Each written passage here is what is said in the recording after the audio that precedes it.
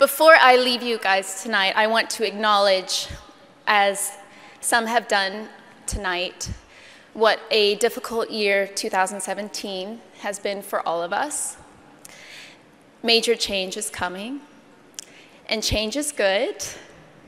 Change is needed. We are all in this together. Each one of us is diminished by a flawed system.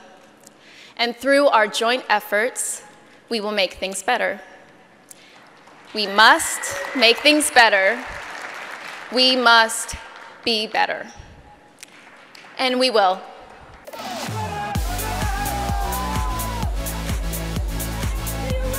Who wants to look, you know, simple when you can look stunning?